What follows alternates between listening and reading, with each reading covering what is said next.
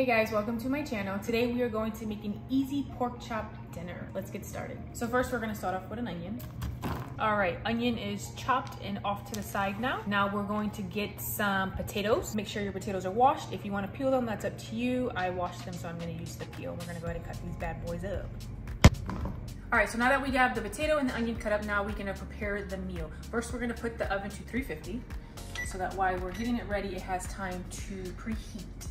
So all you have to do is take one can of slippery tomato sauce, Goya, whatever sauce you want. Put it on the bottom. I'm using a roasting pan because it's just a little bit easier for me. If you want more tomato sauce, you can. I'm going to add a little bit of water, you know, because you don't want it to be too thick at the bottom because then if you cook it too long, it'll mess it up. I'm going to just kind of mix this in the bottom so it's Next step is take your pork chops. I have not seasoned them yet. Put them on the bottom like this. And then you're gonna season them however you like them. I like garlic, adobo, salt and pepper, whatever you decide, but go ahead and season your pork chops how you like. Okay, so just add a little bit of seasoning.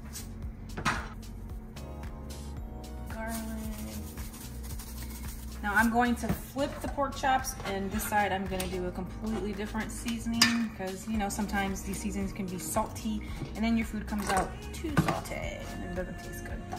So I'm gonna use Goya Sazon, sprinkle that on top. You don't wanna use all of it because you're gonna sprinkle this or whatever seasoning you like on your potatoes as well. And that is it. So now you're gonna add your potatoes around it like this gonna take your chopped up onions, just kind of throw that on top. Add a little bit more seasoning to the potatoes. And we're going to cover this like that and put it in the oven. Set your timer. I'm going to set it for at least an hour because I like tender pork chops that fall off the bone. You know, they're just real tender. So we'll do for 55 minutes. And then while that's cooking, we're just gonna come over here real quick I have a rice cooker. You can use anything that you have. You can do minute rice, but I like the rice cooker. So two cups of rice, add your water. Add some salt and pepper to your rice if you like, or however you like your rice. A little bit of olive oil. Stir it. Put the lid on and get to cook. That's it. So now we just have to pick up the little bit of mess that we have here and we're gonna go to commercial break. So life gets tough sometimes. Sometimes you're a working parent, maybe a busy mom at home, or you're a student, or you have some issues that you can't cook all the time. So now that we have our food cooking, now we can just chill. Now you have time to just scroll through TikTok, look at other TikToks, because your dinner's in the oven. You don't have to stand there and make it. Also, make sure if you have TikTok, you subscribe to Jose Monkey Bones Gaming's TikTok. And don't forget your girls TikTok, Melissa May. If you're a gamer, you have time to play games. Ooh, look at that boy running.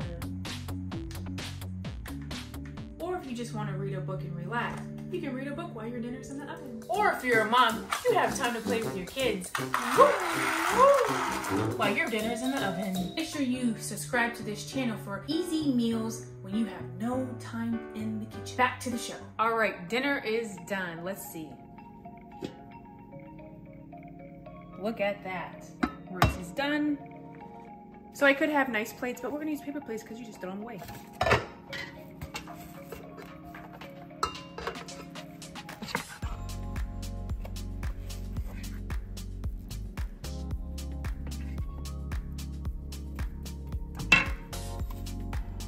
Dinner served.